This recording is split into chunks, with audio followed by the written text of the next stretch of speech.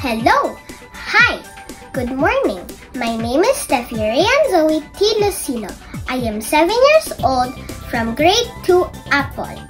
The title of the story that I have read is A Cloud of Trash, adapted from a story by Karanjeet Kaur in English book, pages 151 to 154.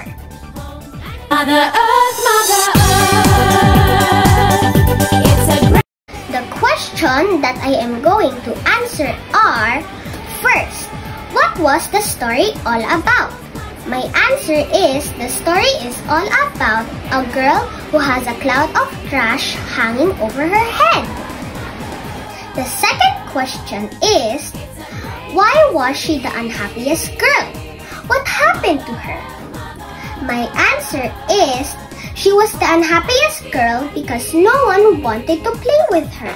Mother always told her not to litter, but she never listened. Throw banana peel and empty biscuit bucket on the road. Until the next morning, she woke up with a cloud of trash hanging over her head. The third question is how was she able to solve her problem? My answer is she guided everyone to throw the banana peel and the empty biscuit bucket into the trash can. She even learned how to recycle and told her auntie to reuse the plastic bag.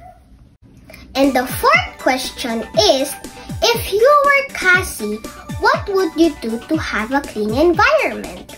My answer is if I were Cassie, I will practice a proper waste disposal to have a clean environment. Mother Earth.